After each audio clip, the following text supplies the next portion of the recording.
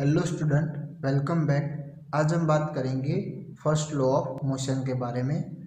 इसके पहले जो टॉपिक देखे थे वह कौन से थे? तो फोर्स की इंट्रोडक्शन थी, ठीक है? और उसके टाइप्स हमने देखे थे।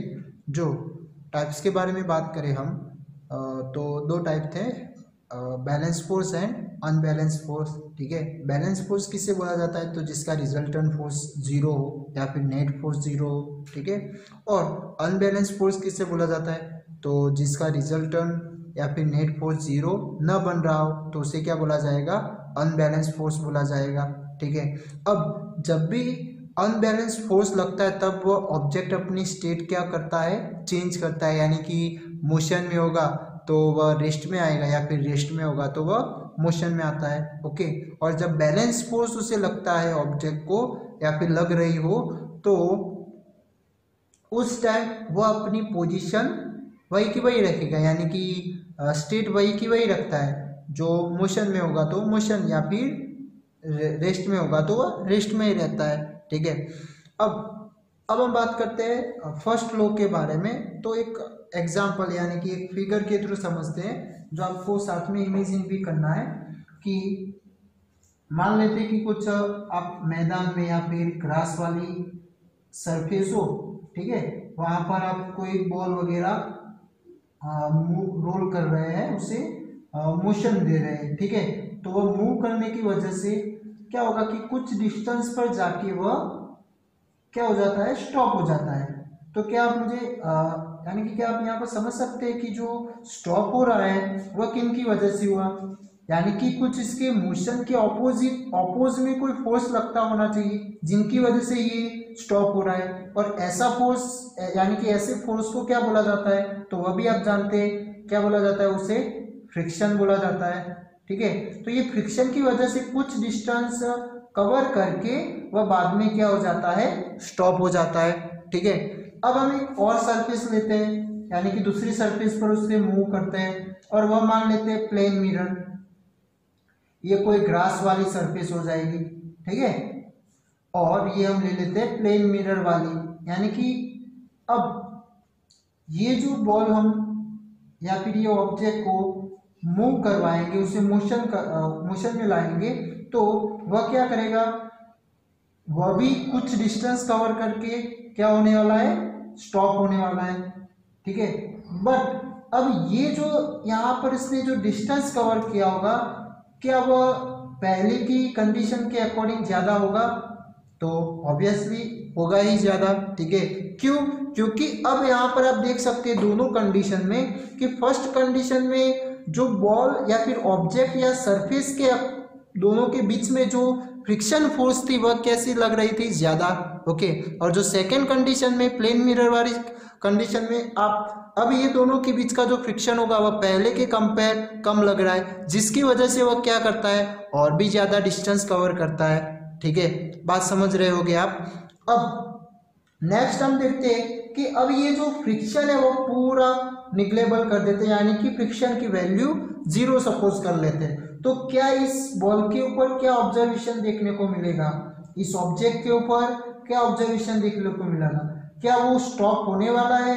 तो नहीं, वह स्टॉप होगा नहीं। अपनी कंटिन्यूसली कोई कांस्टेंट स्पीड से वह मोशन चालू रखेगा। कंटिन्यूसली वह चलता ही रहेगा। ठीक है?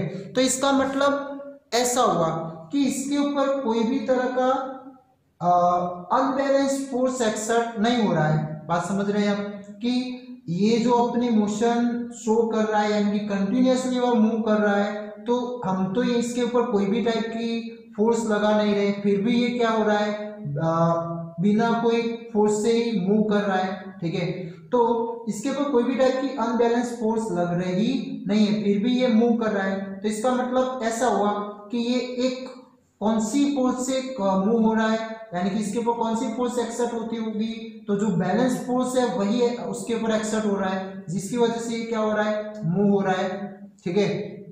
तो अब जैसे ही हम इसके ऊपर कोई एक्सटर्नल फोर्स अप्लाई करेंगे, जैसे कि आप आगे कोई ब्रेक लगा देते हैं या फिर आगे हाथ रख दोगे, ठीक है? तो फिर वह क्या हो जाएगा? स्टॉप होने वाला है ओके यानी कि इसके मोशन के ऑपोज में आपने फोर्स लगाया, जिसकी वजह से वह क्या हुआ? स्टॉप हो गया। इसका मतलब या फिर इसके ऊपर और भी कोई एक्सटर्नल फोर्स लगे तो इसकी वेलोसिटी डिक्रीज हो सकती है, या फिर इंक्रीज हम कर सकते हैं। बात समझ आ रही है? ठीक है? बट वह कब होगा? तो जब उसके ऊपर अनबैलेंस फोर्स एक्सर्ट होगा, तब, जब तक इसके ऊपर अनबैलेंस फोर्स एक्सर्ट नहीं हो रहा है, तब तक के लिए वह अपनी स्टेट रिमेन ही रखता है। यानी कि वही की वही रखेगा। वह जो रेस्ट में होगा तो रेस्ट में ही रहने का ट्राई करेगा। एंड जो वह कंटिन्यूसली मोशन में है तो वह अपनी मोशन चालू ही रखेगा। ठीक है? तो ये था एक law first law of motion और वह ये किन का दिया हुआ है? न्यूटन्स का दिया हुआ है। ठीक है? न्यूटन्स ने इस तरह से तीन लो दिए हुए, जिसमें से ये फ़र्स्ट लो हमने अभी समझा। तो इसकी स्टेटमेंट लिखनी हो तो क्या हो सकती है इसकी? तो अभी देख लेते हैं। An object remains in a state of rest और in uniform motion in a straight line straight line, unless but ये कब अपनी दोनों स्टेट में रिमेन रह सकता है? तो जब तक उसके ऊपर, यानी कि unless an external unbalance unbalanced force is applied on it ठीक है? यानी कि जब तक इन ऑब्जेक्ट के ऊपर एक्सटर्नल फोर्स और वह भी कौन सा? अनबैलेंस्ड नहीं कि बैलेंस्ड तो जब तक एक्सटर्नल अनबैलेंस फोर्स नहीं लग रहा कोई ऑब्जेक्ट के ऊपर तब तक के लिए वह अपनी स्टेट रिमेन ही रखेगा। वह वही की, वही स्टेट में रहेगा, यानी कि जो रेस्ट में होगा तो रेस्ट में ही रहने वाला है। या फिर वह मोशन कर रहा है तो वह अपनी यूनिफॉर्म मोशन से ही चलता रहने वाला है। ठीक है? तो ये एक हो जाएगी न्यूटन्स फ़र्स्ट लॉ स्टेटमेंट ठीक है? ओके जैसे कि अब ये ऑब्जेक्ट यानी कि ये बुक है तो ये अभी क्या है, रेस्ट पोजीशन में, यानी कि इसके ऊपर कोई भी टाइप का मैं एक्सटर्नल फोर्स ना लगाऊँ तो वह क्या होने वाला है, रेस्ट में ही रहने वाला है। जैसे ही मैं इसके ऊपर एक्सटर्नल फोर्स अप्लाई करूँगा तो वह क्या हो जाएगा, अपनी स्टेट चेंज कर देता है। बट कब? एक्सटर्नल अनबैलेंस फोर्स उसके ऊपर एक्सटर्न एक्स्ट्रा एक्सर्ट होना स्टार्ट हुआ तब, ठीक है? जब तक इसके ऊपर कोई एक्सटर्नल अनबैलेंस फोर्स नहीं लग रहा था, तब तक वह क्या था? रेस्ट पोजीशन में था ओके अब ये रेस्ट पोजीशन में होने के, यानी कि दो कंडीशन में हो सकता है। बैलेंस फोर्स लगता हो तो वह उस टाइम भी वह अपनी पोजीशन रेस्ट में हो तो रेस्ट में रहता है या फिर कंटिन्यूसली वह मोशन भी करता है। वह हमने आगे भी देख लिया था, ठीक है? तो ये थी statement first law of motion की, जो न्यूटन्स ने दी थी। बट ये न्यूटन्स ने किन के थ्रू दी थी? तो उसने जो गैलीलियो नाम के जो साइंटिस्ट थे, उन्हीं के एक्सपेरिमेंट के ऊपर से उन्होंने जो कंक्लूजन निकाला था, उनके ऊपर से उसने ये तीन स्लो बताए थे। तो वह गैलीलियो जो थे, उन्होंने क्या एक्सपेरिमेंट किए थे, वह भी हम देख लेते हैं। तो जो गैलीली गैलीलियो गैलीली, इनका नाम क्या था? Galileo Galilei. तो उनका जो एक्सपेरिमेंट नॉर्मल हम समझते हैं तो कुछ इस तरह का था कि उन्होंने एक स्लोप स्लोप लिया था ओके और उसके टॉप के ऊपर से ऑब्जेक्ट को रिलीज़ किया, ठीक है?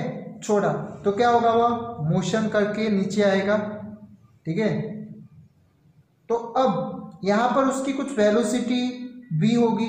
तो यहाँ फ़र्स्ट जो वेलोसिटी है, हम वह सपोज़ कर लेते हैं वी वन सेकेंड है वो वी टू सपोज़ कर लेते हैं। तो आप बता, आप सोच सकते हैं कि कौन सी वेलोसिटी यहाँ पर ज़्यादा होगी। ऑब्वियसली यहाँ पर जो अब ये मूव करता हुआ नीचे आएगा तो उसका मतलब इसकी वेलोसिटी में क्या होने वाला है? बढ़ने वाला है। यानी कि इस टाइम जब वह ऊपर से नीचे आ रहा है तो वह क्या होगा? वहाँ पर वेलोसिटी इंक्रीज होने वाली तो यहाँ पर क्या होगा? V2 to greater then v1 होने वाला है। ओके नेक्स्ट उसने क्या किया था? कि अब इसका पूरा उल्टा, यानी कि नीचे से अब ऊपर बॉल को मूव करवाया जाए। ठीक है? तो अब उस टाइम क्या होने वाला है? तो उसकी वेलोसिटी अब डिक्रीज हो जाएगी ओके यानी कि v1 one less than we हो जाएगा। या फिर आप ऐसा भी लिख सकते हैं V two less than V one क्या? V two less than V one और यहाँ पर क्या हो रहा है? V two greater than V one ठीक है? तो ये थे इसके एक्सपेरिमेंट और भी एक था कि उसने अब क्या किया? कि अब ये जो दो स्लोप थे, वह उसने फ्रिक्शन फ्रिक्शन लेस बना दिए।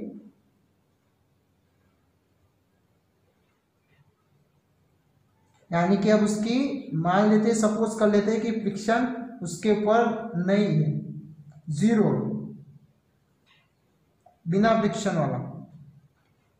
ठीक है? और उस टाइम ये दोनों स्लोप की जो एंगल बनती है, वह एंगल भी सेम ली थी ओके तो हम उस एंगल को अभी सपोज़ कर लेते हैं थीटा ये थीटा भी एक एंगल का ही सिंबल है, जिसे क्या बोला जाएगा? थीटा ओके तो यहाँ पर दोनों एंगल क्या है? स्लोप की सेम ली है, ठीक है? और ऑब्जेक्ट को अब हम क्या करेंगे? कोई पर्टिकुलर हाइट पर से हम रिलीज़ कर रहे हैं तो उसका क्या होगा? अब ये मूव करके कुछ इस डायरेक्शन में जाने वाला है ओके तो अब ये जैसे हम रिलीज़ करते तो वह क्या होता है? सामने वाले स्लोप के ऊपर भी उतनी ही हाइट पर वह जाकर जाता है, ठीक है? यानी कि यहाँ से एच हाइट पर से आपने रिलीज़ किया तो यहाँ पर भी वह कितनी हाइट ले लेता है? एच हाइट पर जाता है, ठीक है? और इसके लिए कुछ उसने जो डिस्टेंस भी कवर करना पड़ेगा तो वह हम सपोज़ कर लेते हैं डी वन डिस्टेंस उसने कवर किया। ओके। सेकेंड अब हम इसमें क्या करना है कि अब ये सामने वाला जो स्लोप है, वह उसकी जो एंगल है, वह डिक्रीज करते जाना है, ठीक है? तो डिक्रीज करते जाएँगे तो क्या देखने को मिलेगा? वह देख लेते हैं।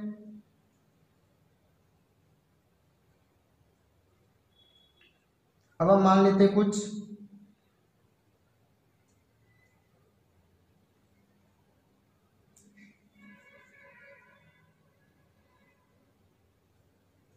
यहाँ पर थीटा वन और यहाँ पर थीटा टू यानी कि एंगल क्या कर दिया हमने?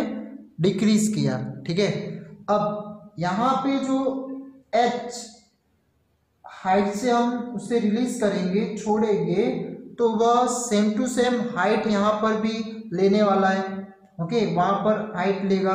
तो अब इस टाइम इसे जो हाइट गेन की तो उसके लिए फ़र्स्ट के कंपेयर क्या ज़्यादा डिस्टेंस कवर करना पड़ेगा? सोच सकते हैं आप।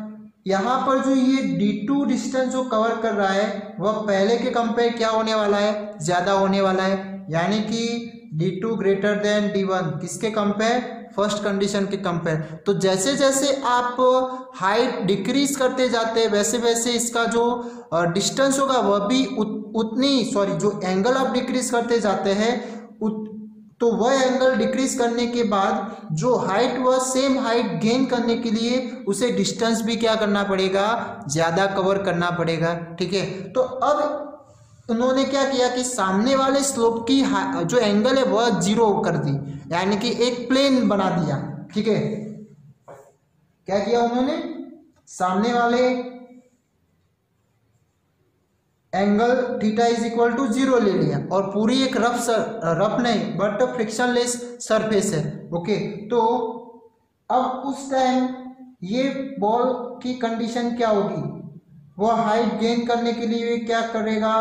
कंटिन्यूसली मूव होता ही रहेगा, कहीं पे स्टॉप होगा तो नहीं ओके क्यों नहीं हो रहा वो दूसरा भी रीजन है कि यहाँ पर हमने फ्रिक्शन लेस कर रहा है ओके अभी नॉर्मल कंडीशन नॉर्मल सिचुएशन में ऐसी कंडीशन पॉसिबल नहीं है ओके बट ये फ्रिक्शन लेस हम बना दे और इस तरह से सपोज़ करें तो वह क्या करेगा? बॉल अपनी हाइट गेन करने के लिए वे कंटिन्यूसली चलता ही रहेगा, कहीं पे भी स्टॉप होगा नहीं। तो अब ये कंटिन्यूसली जो चल रहा है तो हमने इसके ऊपर कोई भी टाइप का अनबैलेंस फोर्स नहीं लगा रहे फिर भी वह क्या कर रहा है? अपनी मोशन एक यूनिफॉर्म मोशन से ही जा रहा है ओके तो अब इसकी मोशन मान लो कि हमें उस पोजीशन को स्टॉप करना है। यानी कि वह मोशन को स्टॉप करना यानी रेस्ट पोजीशन में लाना है। तो हमें क्या करना पड़ेगा?